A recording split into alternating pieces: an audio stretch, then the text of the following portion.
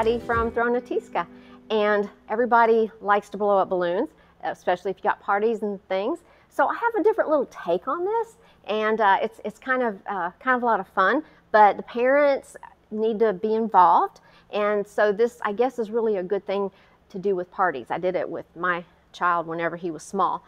So what you're gonna need is you're gonna need vinegar, and you're gonna need some baking soda, a little funnel, some balloons, and something that has a neck that you can stretch the balloon over. So you can use uh, little bottles for this. The little plastic bottles will probably be okay for this. Just might have to, you know, try it first before you have the kids do it.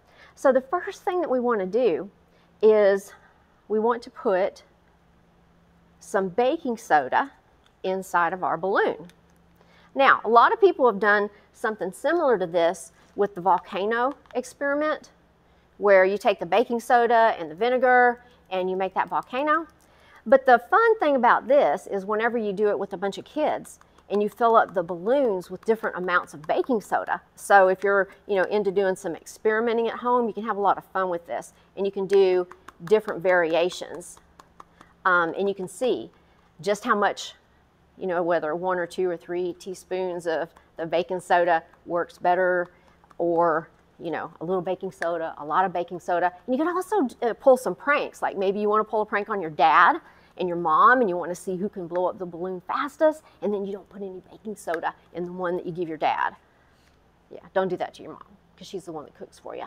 She may not cook you dinner, but you can do it for your dad. All right, so I've got some baking soda inside my balloon. Looks innocent enough. And I'm just gonna take some vinegar and mmm, smells nasty. Pour some vinegar in here. So you could also play around and experiment. Just how much vinegar should you put in here?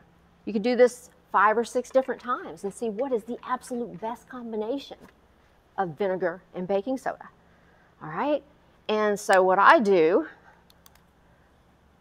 I have these set up before my party or before my contest or before my prank, whatever, and they're just sitting here and then I'll say, okay, we're gonna have a balloon blowing contest and you gotta tell the person, you're gonna stand it up. And kids love this. And you gotta blow your balloon.